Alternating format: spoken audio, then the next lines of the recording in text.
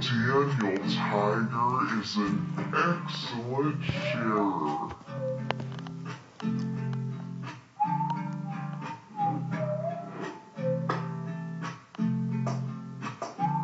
The thing about sharing is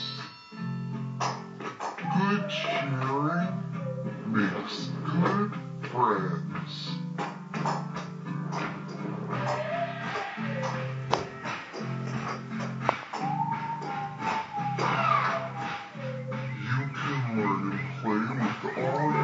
Friends from Daniel Tiger's neighborhood every day on the PBS Kids video app.